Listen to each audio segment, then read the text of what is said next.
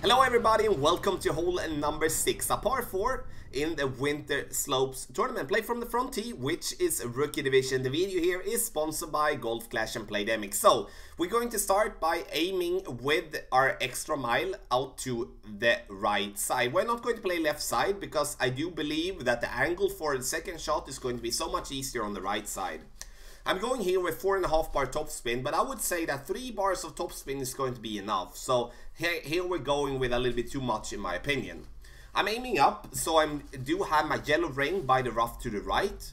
And I want to aim for the, the ball to be inside the first piece of shadow that we do get from the trees. Now I don't know, as this is a video that is recorded before, uh, as we cannot uh, practice any of the holes from the front tee uh, at the moment in the regular tour play so it's going to have snow on them. So I don't know if the shadows is going to be shadow is going to be taken away but then we can just study the landing position anyway and build ourselves an own reference from going there. But if the shadows are there then we're going to follow that we do want to, the thing that we do want to achieve is that we do want to get as close to the top there on the right side and of course stay away from that rough. Oh my god, I'm so close.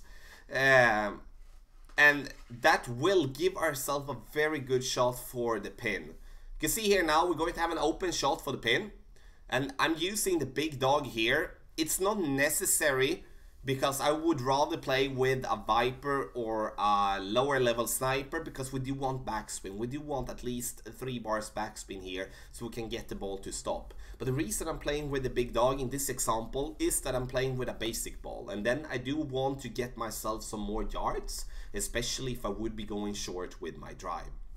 So I kind of like uh, compensate for um, for those different situations that could uh, occur. Then, of course, during the tournament, when we know the win, then of course we're going to be able to pinpoint the right clubs that we're going to use.